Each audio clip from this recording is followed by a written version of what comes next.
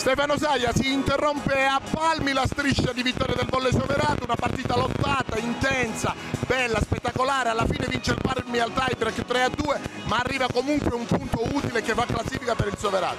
Sì, assolutamente. Noi abbiamo fatto una partita intensa contro un Palmi che è rimasto in partita per tutti i 5 set. Eh, devo dire che noi siamo stati molto bravi, mura difesa, abbiamo lasciato probabilmente qualche episodio eh, in, in, di troppo. Eh, la, la, palla, la, palla, cadere per terra ma devo dire che l'intensità è stata alta da tutte e due le parti e dalla nostra soprattutto. Abbiamo finito tutti e quattro i primi set con un attacco più alto rispetto a Palmi. Probabilmente siamo mancati nei momenti importanti con la lucidità di scegliere il colpo migliore ma ripeto le ragazze hanno fatto una gran partita e sono contento di quello, di quello che è successo qui in campo poi ci sono situazioni che sono poco prevedibili, un filotto in battuta, una palla attaccata dai 6 metri che prende il nastro, quello ci sta. Probabilmente dobbiamo ancora di più lavorare per smussare nostri, eh, le, le cose che possiamo ancora migliorare e continueremo a farlo partita dopo partita, giorno dopo giorno in allenamento probabilmente un po' meno reattive, un po' meno lucide solo nel tie break la squadra oggi perché negli altri set oltre a quelli vinti quei due persi sono stati persi ai vantaggi e la squadra è stata sempre in partita. Sì, più che meno reattive eh, parlano, eh, parlano, i numeri. In attacco abbiamo attaccato peggio di loro eh, nel tiebreak, solo quella, la differenza è stata quella. Nel tiebreak probabilmente per una serie di motivi abbiamo eh, aumentato, anzi diminuito la nostra efficienza in attacco e loro ne hanno approfittato, spostando l'inerzia dalla parte loro. Ripeto, in un tie break probabilmente dobbiamo cercare di essere più cinici, ma non voglio rimproverare niente alle ragazze perché era una partita che aveva tantissime sfaccettature, tantissime, eh, tantissime implicazioni. Sono contento per l'intensità, probabilmente possiamo fare ancora meglio come ricerca dei colpi d'attacco, soprattutto nei momenti in cui la palla non è alzata perfetta. Coach Giangrossi, una bella prestazione quella del Palmi, vince il derby al tiebreak 3-2 rimontando da 2-1, quindi una bella prova di carattere anche direi di questa squadra che continua quindi a sperare in un posto dei playoff.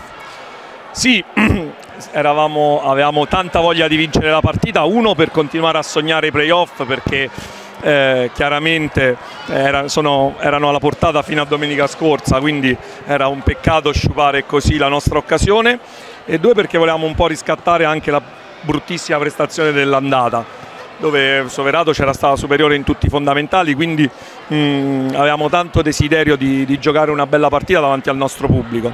Un po' di rimpianto per il primo set che dovevamo chiudere e probabilmente poteva significare una partita più, più agevole però davanti avevamo una squadra che secondo me in questo momento è la più in forma e la più ehm, la più compatta del campionato, quindi tanto merito a loro per aver fatto benissimo tante cose, per averci messo sempre in difficoltà e merito alle mie ragazze di averci creduto fino in fondo e aver lottato su ogni pallone. Una squadra che è stata molto lucida, ha giocato un ottimo tie break, ha condotto sin, uh, già dal cambio di campo 8-7 e poi praticamente non ha più mollato nulla. Nel tie break è stata, non dico perfetta, ma quasi.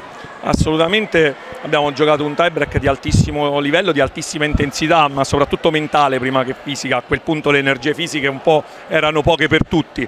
Ehm, un applauso va sicuramente al capitano che in quel momento ha, ha, preso per mano la squadra sul 6 pari quando c'è stata quella piccola interruzione.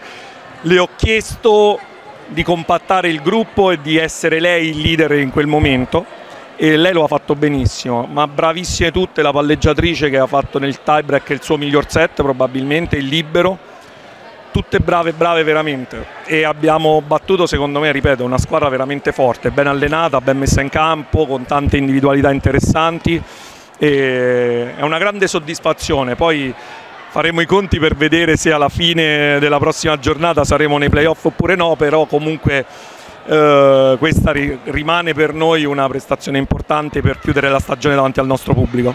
Proprio questa era l'ultima domanda, adesso c'è l'ultimo sforzo da fare domenica prossima su un campo difficile come Legnano per andare a conquistare l'intera post in palio per cercare l'accesso in questi playoff. Sì, a conti fatti in questo momento siamo fuori per differenza punti eh, per differenza set, scusami. E Legnano è sicuramente una squadra molto forte che all'andata abbiamo battuto qui in casa, ma sarà un'altra partita. Loro hanno comunque consolidato il terzo posto, quindi eh, magari potrebbero avere qualche motivazione in meno di noi, ma ci credo poco.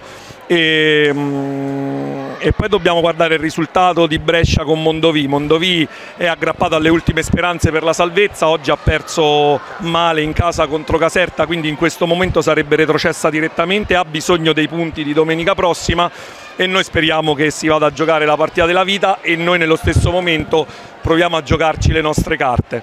Poi una volta che dovessimo andare ai playoff inizia un nuovo campionato e lì chi, avrà, chi, ne avrà di più e chi avrà la testa più lucida probabilmente si porterà a casa il sogno della 1.